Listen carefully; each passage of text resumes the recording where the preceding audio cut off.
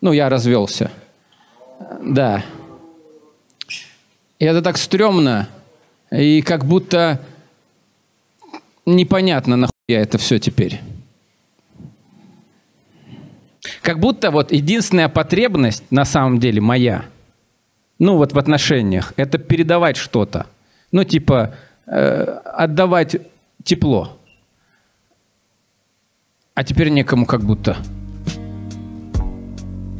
И как будто у нас стереотипно, что ты ищешь э, человека, чтобы получить что-то.